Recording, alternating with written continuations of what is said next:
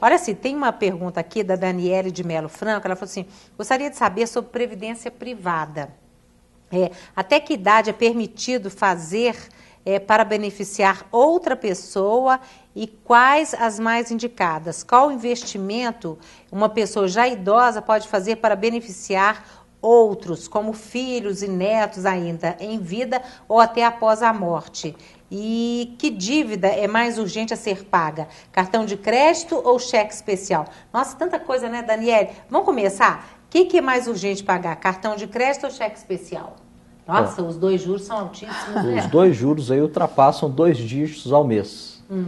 É, eu acho que eles devem negociar esses juros aí junto à instituição de cartão e ao banco. Pois é, mas qual que é mais alto? Hein? Os dois têm mesmos patamares. Mesmo patamar, o cheque especial tende a ser menor hum. né, do que o cartão de crédito. Agora, Ele ideal, normalmente é menor. Gente, o ideal, ideal, não entrar no cartão, é, no cheque, no cheque especial, especial, E o cartão é. de crédito eu acho uma maravilha, mas desde que você vá, pague lá uma vez só. Porque é, é alto demais. Por que é tão alto assim? Eu fico impressionada, porque se você vai lá pôr na carteira, na caderneta de poupança, ou renda fixa, investir lá no banco, você ganha assim, tiquitito, né? É. Tiquitinho. Agora, quando você vai pagar um cheque especial e, uma, e, uma, e um cartão de crédito, é altíssimo. Por que, que é. existe essa diferença toda? É, ele é alto por causa do risco. Isso é chamado de hot money pelos bancos. É dinheiro sem garantia. Hum. Então o consumidor vai lá, toma emprestado e não tem nenhuma garantia que vá é, pagar isso ao banco. Então o percentual é, de inadimplência ele é elevado, um dos mais elevados. E por isso que esse percentual é ao mês de cobrar de juros é um percentual altíssimo. Uhum. Inclusive, o Brasil tem o maior percentual de juros do cartão de crédito da América do Sul. Ué, mas também, gente, pudera, você recebe, todo mundo recebe cartão de crédito em casa. Não é? E hoje em dia está assim, não precisa é nem de pagar mais é, anuidade, mas né? é proibido o envio sem solicitação, o consumidor tem hum. que saber disso. Às vezes ele até quer ter o cartão, né? Ele recebe sem solicitar, fica com o cartão, mas ele tem que ter todas as informações, ele tem que ter é, é consciência de que quando ele vai usar, ele vai pagar anuidade, né? Porque às vezes até é ofertado o cartão, é mandado para sua casa, ah, é cartão sem anuidade. Na hora que você aciona o cartão, você faz a primeira Exato. compra, já vem a anuidade. Mas, é, mas por que, que né? isso? é desonestidade. À medida que fala que não vai ter e depois pois tem. É, é uma publicidade enganosa essa, então o consumidor tem que estar consciente que ele deve reclamar porque a empresa pode ser punida. Pois é, mas o, os bancos não olham o, o, Código de Defesa do Consumidor, não, meu Deus? Olha, eles já quiseram ficar de fora do Código de Defesa do Consumidor, né? Agora, é importante que o consumidor saiba que quanto, uh, quanto mais ele usa o cartão, mais possibilidade ele tem de não pagar, né, de ficar inadimplente. Outra coisa, quanto maior a quantidade de parcelas, maior a possibilidade também que ele tem de se endividar, de não pagar. E o rotativo é altíssimo.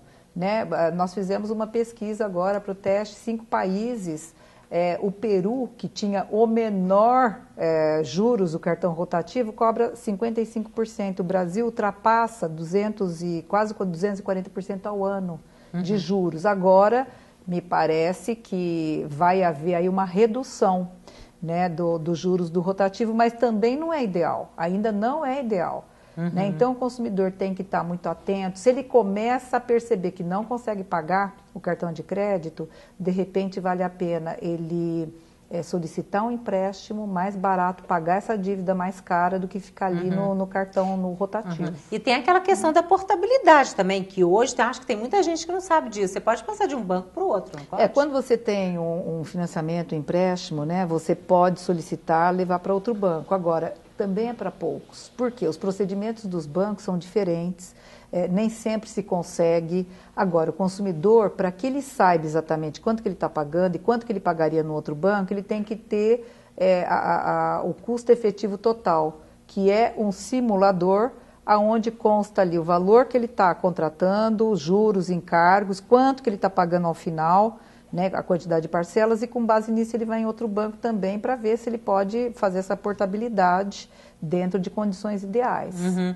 Agora, parece que os, tem alguns bancos aí, ou um banco, acho que um dos maiores do país, que já está diminuindo, né, esses juros? É do, os juros do cartão de crédito, é, é. me parece que sim, e outros vão seguir. Agora, Bom, porque se um abaixa, Mas né? mesmo assim, se você perceber, olha, 240% ao ano de juros no rotativo, você divide aí... É, Quer dizer, eles estão dizendo que vão começar a, a cobrar 55%, por, metade, 50%. Não, ontem, mesmo ontem assim, a gente é viu, elevado, acho que 6%, né? é que é elevado demais, Muito elevado, né? muito é 6% elevado. no rotativo. 6% no rotativo. no rotativo. No rotativo, é, porque da carteira normal do atraso é 8, 9%. É, exatamente. Atrasou, passa... Nossa. Passa para 9%. Esse é o rotativo, é onde você do... faz o parcelamento, 6%. É, 6%. Uhum. Porque além do, de pagar juros, ele está pagando encargos, multas pelo atraso, né? Então é uma bola de neve. Gente, é uma bola de neve. É uma a gente bola tem que fazer tudo para não entrar nela, Com né? Certeza. Porque depois para você sair é o que você está falando. Aí eu já vi muita gente fazer isso e é o correto mesmo. Vai procurar um dinheiro mais barato, um crédito mais é. barato paga e vai pagar o outro. Antes que ele se torne um inadimplente de cartão, cheque especial, né? Aí ele não consegue mais nada. Aí a situação é pior ainda, né? Ou até buscar da família nesse recurso, porque os juros da família praticamente não tem. É, e você vai é. para o banco, as taxas, infelizmente, ainda são Sim, elevadas. Com certeza, eu acho que isso, família, quando é unida, então ela é ótima para isso, que um é. quebra o galho do outro, né? Bom, mas aí, a Daniela tem outras coisas. Ela falou, né, eu fui para a última. Ela quer saber, previdência privada, até que idade é permitido fazer para beneficiar outra pessoa? E quais as mais indicadas? Você pode fazer previdência privada com qualquer idade. É claro que, é. por exemplo, eu quando tinha 40 e poucos anos, eu falei, ai, ah, vou fazer. Aí cheguei, o preço assim, sobe, o valor da mensalidade sobe. Quanto mais cedo é melhor, né? É, quanto mais cedo melhor. Mas, por exemplo, se você tem menos de 18 anos, os bancos oferecem aquela prévia jovem. Uhum. Que quando chegar a 18 anos, você tem que retirar esse dinheiro e possivelmente migrar para uma outra previdência privada. Uhum. A previdência privada que você for escolher vai depender da sua renda. Você tem a PGBL, onde que você tem um desconto no imposto de renda, e a VGBL, onde que você não tem um abatimento no imposto de renda. O que, que, é isso, gente? É, significa o seguinte, hum. que quando o, o, o, cidadão ele tem uma renda elevada, onde que ele tem aquele desconto de renda na, na fonte, Sim. ele pode abater isso é, até 12% do que ele contribuir para o plano de previdência privada. Olha que interessante. E de, essas previdências são de quê? De banco? De que que é? São de bancos. Hum. São de bancos. Uhum. E, a PG, e a VGBL não. É onde que a, o trabalhador ele tem uma renda onde ele não tem um imposto de renda na fonte. Hum. Então ele vai optar por essa aplicação. Por quê? Essa aplicação não vai lhe dar o direito de abatimento na fonte e quando ele for sacar apenas, ele vai pagar é, imposto de renda somente sobre os rendimentos. Uhum. Então ele deve procurar o gerente e fazer uma simulação aonde que ele consiga a melhor rentabilidade, de acordo com o seu perfil. Uhum. Agora, eu estou sabendo assim que está mudando muito um pouquinho do perfil das pessoas que fazem previdência, porque assim, na minha cabeça, sempre era, ah, paga previdência privada para a hora que se você é, é, é, é aposentar no INSS, você não vai ficar com pouco dinheiro, porque geralmente o, o, salário da gente quando a gente aposenta cai demais. Geralmente é assim, quem ganha um pouquinho mais, né, cai muito. E era para justamente não cair tanto, você não perder tanto assim qualidade de vida e tudo mais. É, hoje não, né? As pessoas estão esperando aposentar e tira o dinheiro todo do, do, do que colocou na previdência é. privada? É. O próprio gerente de banco indica uma aplicação de previdência, mas não como aposentadoria, sim como poupar valores, uhum. com rendimento bom e com possibilidade de desconto no imposto de renda. Por quê? Hoje a previdência privada não era igual antigamente. Você fazia ela e quando você aposentava, você é, recebia um valor mensal, um valor significativo. Uhum. Hoje, depois de você contribuir 30, 40 anos, aí o valor que você recebe é mais ou menos aí 0,6, 0,5, dependendo do tipo de previdência que você aplicou sobre o total de saldo. Uhum. E quando você vier a faltar, a família não vai usufruir desse saldo que você tem. Então, o que, que o gerente de banco hoje ele indica? Que você saque esse dinheiro, que invista em algum imóvel ou alguma aplicação onde que você consiga fazer esse resgate mensal, que ainda é melhor do que um rendimento de aposentadoria e que você consiga passar isso para os seus entes. Ah, pois é, mas olha aqui, me explica, você está falando antigamente, esse antigamente é quando? 15 anos atrás. 15 anos atrás? É. Mas hoje, então, por exemplo, se uma pessoa faz, só para entender direitinho, é. se uma pessoa paga a previdência privada dela lá todo mês direitinho, né? Um chefe de família, ele morre, a mulher, os filhos não têm direito àquele Aí dinheiro? vai depender da modalidade dele, mas a princípio não. É só para ele. É quando ele parar de trabalhar, contribuir o um mínimo lá que ele estipulou e ele vai retirar aquilo enquanto ele estiver vivo. Na hora que ele vier a faltar, a família Mas não tem ele vai retirar só depois de determinado tempo. É, de contribuição. De quantos anos? Aí depende do período que ele começou a aplicar. Normalmente Uhum. é 35 anos. Você tem previdência privada? Aí você fez como? Só para você ou para sua família também? Não, não tinha disponibilidade só para minha família, não. Fiz só para mim. Uhum. Porque, e hoje tem essa disponibilidade para a família eu, também? eu quando eu fiz também ainda não, eu peguei intermediário, eu não peguei uma época boa. Não tem, eu não consegui uma aplicação dessa forma. Hum. E se houver, com certeza, é, o custo disso vai ser muito elevado. Entendi. Né, Normalmente você tem de empresas, né? Empresas é, tipo Petrobras, né? Essas previdências que pertencem à empresa. Essas sim dão direito para a família. Mas essas é, previdência privada que são de bancos, não, essas não. não, né? Agora, essas das empresas, tem muitas empresas, Não, essas né? das empresas dão direito à família, mas no nosso caso não. Nós aplicamos direto no banco, a gente escolhe e, e no caso de aposentadoria, é somente para você, não é repassado à família. Uhum. Agora, nós temos mais uma pergunta na rua, olha só. Por que, que é importante a pessoa pagar, pagar uma previdência privada além do INSS? Oh, meu Deus, você respondeu, né? Mais alguma Exato. coisa que você queira É dizer? você se complemen- complementar é quando você não tiver aquela força física mais para trabalhar. né? É. Se você vai estar aposentado, as oportunidades de trabalho é, são bem menores, a sua capacidade de trabalho também é bem menor, então você deve ter uma vida é, pelo menos próximo ao padrão que você tinha Uhum. quando você era nativo. Agora, eu conheço famílias assim que os pais começaram a fazer previdência privada para os filhos, os filhos com dois, três, quatro anos de idade. Você indica isso? Eu indico no primeiro mês de vida. É, né? É. Uhum. Primeiro mês de vida, você pode fazer uma previdência privada utilizando o seu CPF. Ok, você acha que compensa? Eu acho que compensa que é uma poupança e outra coisa. Você tem que pensar que essa poupança pode ser para o filho estudar é, num colégio particular, quando completar 18 anos e na faculdade, ou até estudar fora do Brasil. Nesse sentido, eu acho que é muito útil. É, essa pessoa que eu sei que uma vez até nós fizemos reportagem, falou exatamente isso. Ah, não, porque aí meus filhos, a escola, o intercâmbio, fica tudo garantido, né? Quer dizer, bacana então, né? Olha, peraí, nós respondemos tudo dela, investimento e tal. Não, acho que nós, nós, eh, nós respondemos sim. Olha só, é, financiar um carro, gente, que hoje está tão fácil, né, de financiar carro. Qualquer um quiser comprar, compra, né? Mas é, muitas vezes o consumidor ele consegue fechar o negócio sem dar um centavo na entrada, né? Mas na maioria das vezes os juros são altos e então é preciso ficar atento se a parcela vai caber no bolso. Você vai ver agora a história do Juarez que financiou um carro zero em 60 meses, se enrolou no pagamento das parcelas e criou um grande problema para a vida dele. Olha só. Eu pegava dois ônibus para vir trabalhar e, e três ônibus para voltar. Um, os três, um era o metrô, para ir até Dourado. Aí depois eu resolvi, em 2008, eu, vai, eu vou comprar um carro aqui, porque aí eu deixo de pagar o transporte, é, eu vou conseguir até pagar a, a prestação do carro. O carro à vista na época valia acho que 26 mil, eu não estou certo, mas 26 e pouquinho. Aí ela dividiu em 60 vezes. E depois que as coisas foi apertando, aí depois eu tive que eu trazer umas seis prestações, eu, eu tive que renegociar. Eu pedi as que eu tinha pago e eu dividi, o- dividi o restante de 60 vezes, de 728 cada uma. Até hoje está dando conta de, de abastecer e pagar a versão do carro. Nossa, meu Deus, porque ele com financiamento, ele comprou o carro acho que 26, né?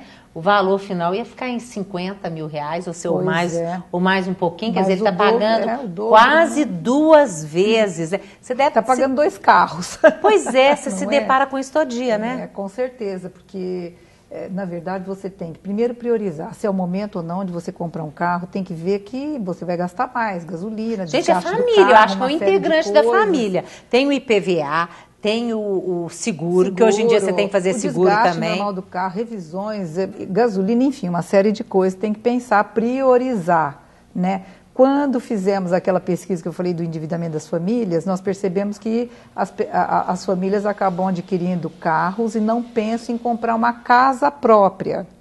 Então, isso significa falta de planejamento, prioridade. Além disso, tem que ver o que cabe no bolso.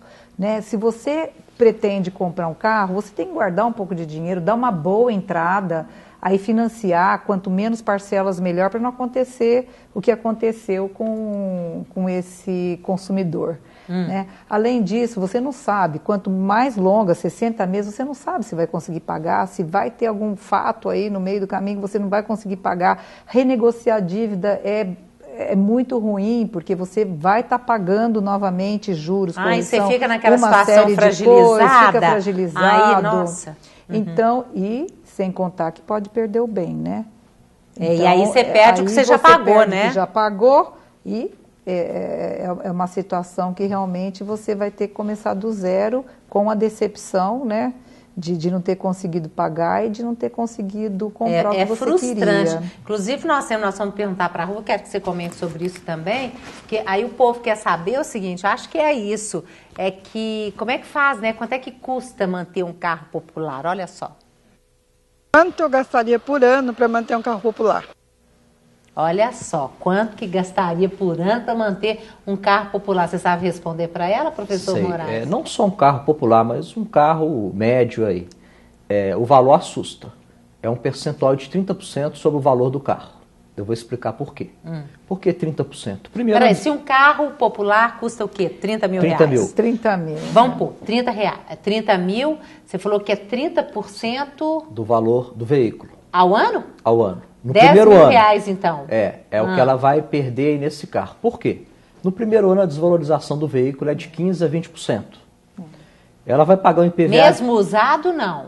É, estou partindo do veículo Você tá zero. Tá, do zero. Você sai com é. ele da concessionária. Só de é. sair da concessionária já é, vale já está né? desvalorizado. Já, tem carros aí que chegam até a 20%. Então, estou colocando uma média de 15% no primeiro ano aí, ó, que é uma média bem conservadora. Você paga aí 4% de IPVA. Então, já fui 15 mais 4, já fui para 19.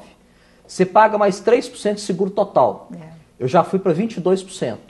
E você deixa de ganhar numa aplicação financeira 8% ao ano. Porque esse dinheiro poderia estar aplicado. Então, 8% mais 22%, eu cheguei em 30%. Sem contar custo de manutenção e combustível. Nossa, é muita coisa, gente. Agora, olha só, para a maioria das pessoas, né, andar de táxi é sinal de prejuízo, né? Mas você sabia que, dependendo da situação, andar de táxi sai mais barato que manter um carro? Olha só, quem falou isso pra gente foi o professor Sami Dana, aquele que falou no principinho do programa. Olha só. Vamos analisar se o carro vale mais a pena ou menos a pena do táxi. Basicamente depende de alguns fatores. O carro que você tem e a quilometragem que você anda por dia, obviamente a cidade que você está, o preço do, da bandeirada e o preço do quilômetro rodado. Em geral, para carros numa faixa de 30 mil, até 15 quilômetros por dia vale mais a pena andar de táxi. Claro que isso é uma análise técnica financeira. Tem gente que odeia dirigir, aí o táxi dá muito mais prazer, ou tem gente que adora dirigir e o carro dá muito mais prazer. Mas do ponto de vista financeiro, a gente pode pensar em até 15 km por dia o táxi sai mais uh, barato e é mais vantajoso. Justamente porque no carro a gente tem esses inúmeros custos, seguro, IPVA, estacionamento, depreciação, entre outros. Olha que interessante, gente. Vou começar uhum. a contar quantos quilômetros que eu ando por dia. Eu acho que eu não ando muito por dia, não. Quer dizer, ele falou que quem anda até 15 quilômetros, né, vale a pena o táxi. Você concorda? Eu concordo com ele. E recentemente eu vi uma pesquisa que nas grandes capitais o carro fica parado 90% do tempo. É. Então, quer dizer, 90% do tempo ele fica na garagem. Ele roda apenas 10%.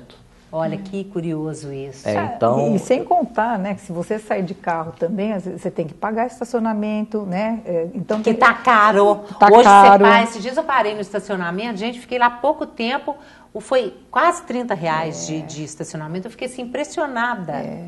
É, é que é, geralmente o brasileiro não faz esses cálculos, né? O ideal seria fazer esses cálculos todos. E a gente quer aquela praticidade, pegar o carro mesmo Exato, pegando trânsito congestionado, é. né? Que aí a pessoa começa, ah, mas e domingo? Como é que vai fazer? Sábado? É. Eu quero passear, se tem menina, eu quero levar no zoológico, como é que eu faço sem o carro, né? O que, que você responde para as pessoas? Olha, eu estou vendo que as famílias hoje têm dois carros. É, verdade. Né?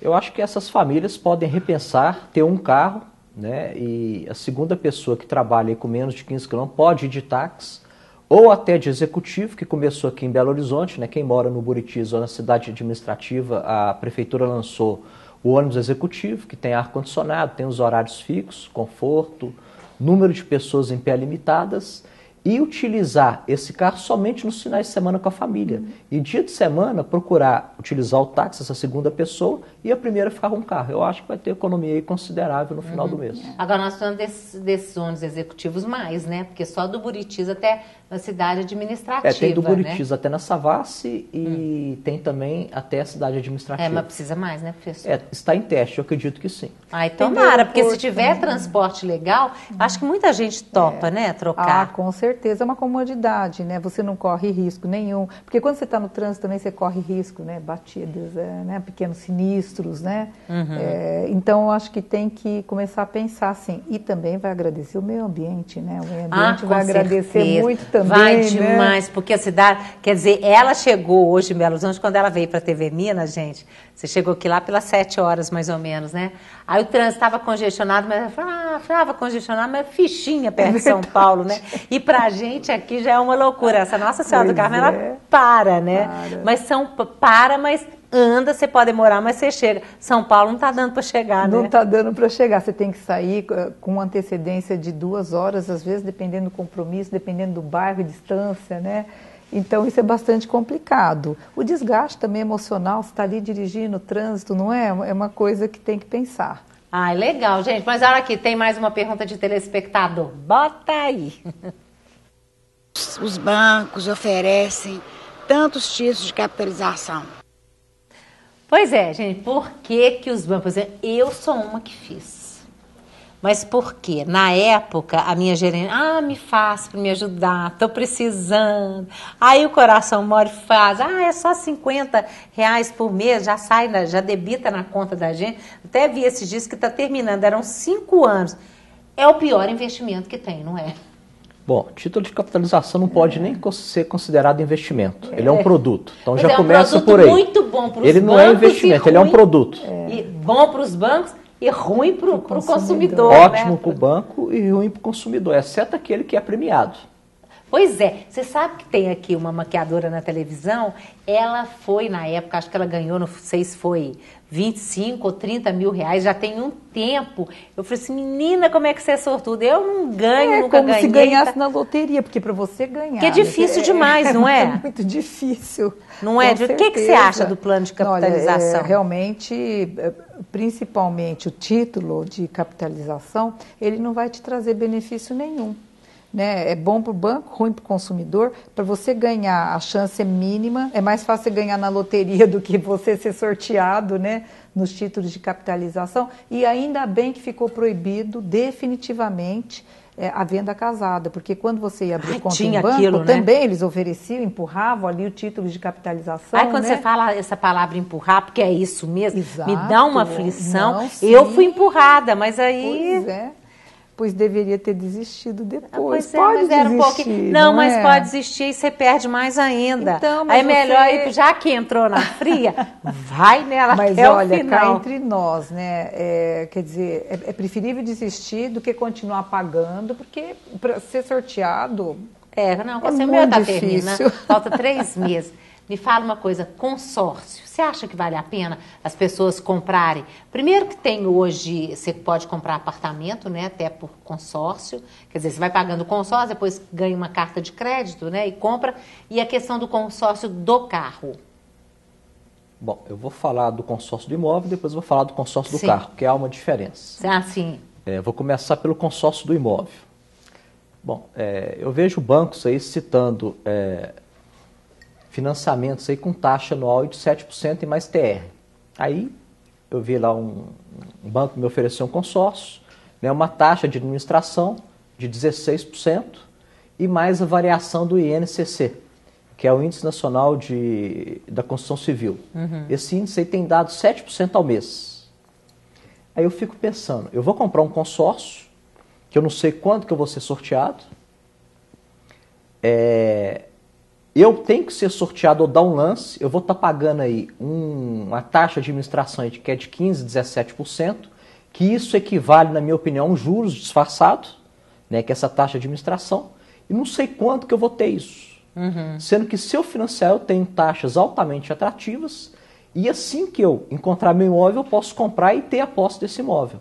Então eu não Ou considero seja, o consórcio que, de imóvel um bom negócio. Você acha que a pessoa perde dinheiro e corre risco também, não corre? É, não é perder, porque olha só, apesar disso, o custo do consórcio é, ele é pouco menor do que o financiamento. Só que é o seguinte, o consórcio você tem que esperar ser sorteado. É. E, quando, e quando uma pessoa compra o consórcio, ele tem aquela expectativa, vou ser sorteado. E ah, não verdade, é. Verdade, E não é. Então ele acaba dando um lance. Esse lance tem 15, 17% de taxa de administração e acaba mais ou menos saindo elas por elas aí. porque a, porque a taxa hoje de financiamento está muito baixa. Com certeza. Agora, do carro, por exemplo, do carro eu fico pensando que é melhor a gente ajuntar o dinheiro e comprar o carro à vista, é, é, ao contrário de entrar num consórcio. Não sei se eu estou certo. O problema é que a gente, às vezes, as pessoas não dão conta de guardar o dinheiro, né? Pois é, esse é o problema. A pessoa está com aquele dinheiro e não consegue fazer uma poupança forçada. Então vai lá faz um consórcio.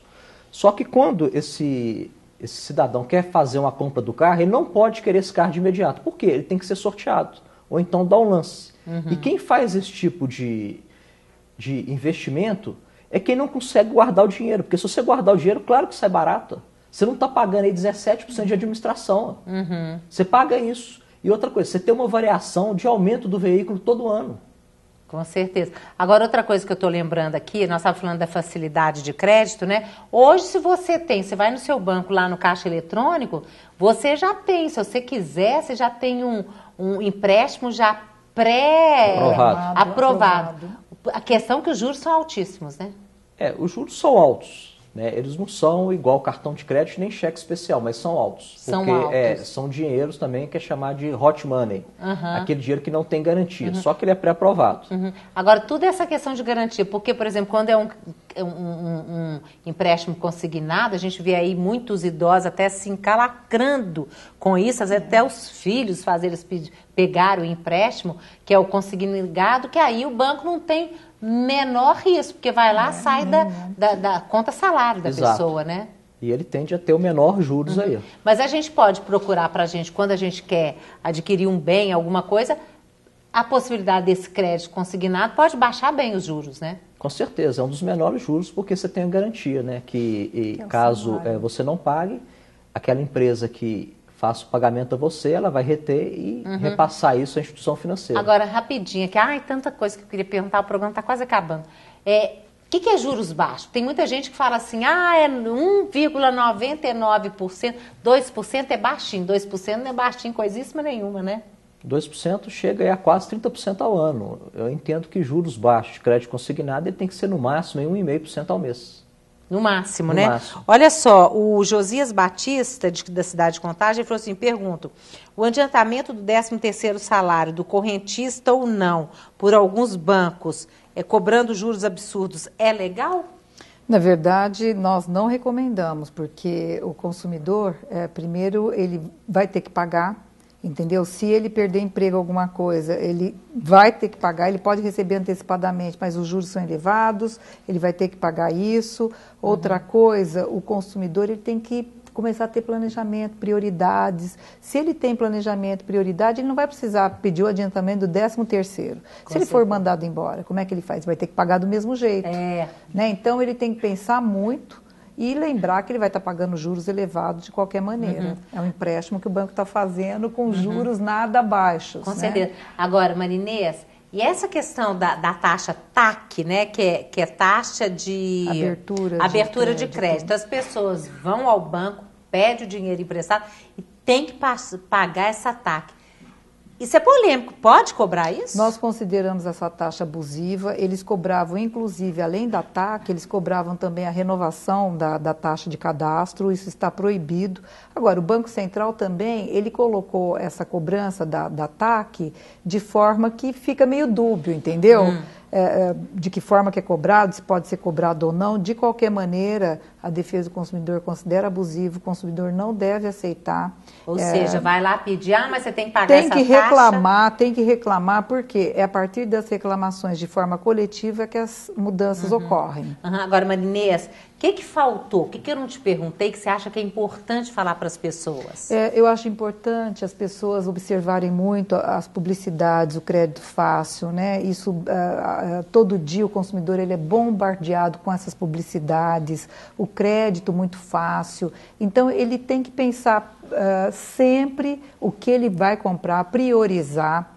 Né, verificar se ele vai ter condições para estar pagando. Né? Você falou do caixa, do caixa eletrônico, é verdade, o consumidor vai lá, já tem o crédito pré-aprovado, né? ele não vai ter que encarar o gerente para pedir o financiamento ali, o empréstimo, né? porque ele não quer falar que está endividado. Então ele tem que tomar cuidado, porque tudo o que ele está é, tendo como um benefício, um empréstimo, alguma coisa, ele vai ter que pagar, ele vai ter que priorizar e ter planejamento adequado para que ele não se torne um endividado. É aquela velha história, né? A gente tem que, se a gente não teve, quer dizer, eu não tive na minha época educação financeira, Tem né? que ter educação para consumo, educação financeira, que tem que começar desde as escolas, né? É, algumas escolas já estão fazendo já isso, estão mas deveria ser fazendo. matéria obrigatória, né? Porque assim, é, É. fundamental desde pequenininho saber como é que lida com dinheiro, né? Porque hoje as pessoas estão priorizando, por incrível que pareça, viagens e é, compra de carros. Então tem que começar a pensar que tem que ter um, um bem, né, um imóvel para a família e tudo mais. Tem que ter planejamento, tem que pensar que tem que pagar a escola, tem que pagar plano de saúde. Então tudo tem um custo. Então tem que estar ali na ponta do lápis, entendeu? Uhum. Quer dizer, saber em que é a prioridade, né? Ah, Se eu quero gastar sim. com viagem, tudo Sim, bem. sim. Mas é, tem que saber é uma coisa ou outra. Às vezes não dá para fazer tudo ao Sim, mesmo não dá tempo, para né? fazer, guardar um pouco de dinheiro até para dar uma entrada maior, com parcelamentos menores. Justamente, a gente sempre tem que guardar um pouquinho, né, gente? A gente não sabe o dia de amanhã, né? Com tem que ter uma certeza, tem que ter poupançazinha. um e você, terminando, professor?